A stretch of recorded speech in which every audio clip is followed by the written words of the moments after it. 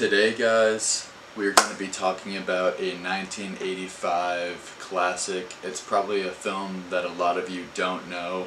It's called Demons, directed by Lamberto Bava, and it's produced by Dario Argento, who's one of the best Italian filmmakers of all time, known for his giallos, so he's a really good master of macabre to be attached to the project. The basic plot line of Demons is very simple. It's about these random people that were just kind of picked to be um, the first ones to see this mysterious movie, and they soon figure out that they are all trapped in the movie theater with a bunch of ravenous demons. The plot isn't really what you come for.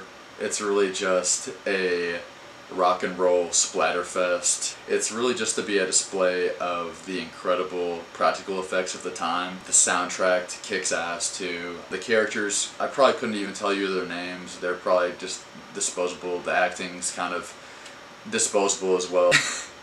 you don't really care about the acting when you go into a movie called Demons.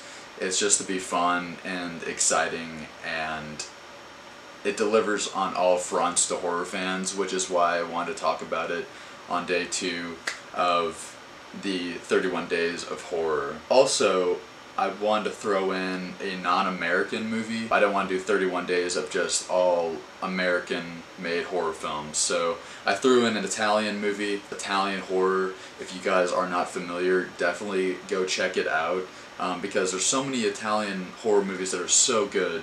Um, I'm also going to be talking about Suspiria, that's directed by Dario Argento um, very soon too, so be looking out for that. Giallos uh, of the time are just unmatched. They just had great camera work. Colors are popping in this movie, um, and they they're just so vibrant. It's so vibrant looking, you know, and it's just the movies are just so visually striking and intriguing. Demons is up there as one of my favorite horror films of all time. It's got elements of a zombie movie, um, but it's not. Obviously, they're all bloodthirsty demons that are trying to kill all these random people. It plays with elements of the zombie genre, but it turns on its head. So it's not like Dawn of the Dead or anything like that. It's got some interesting kills in here too.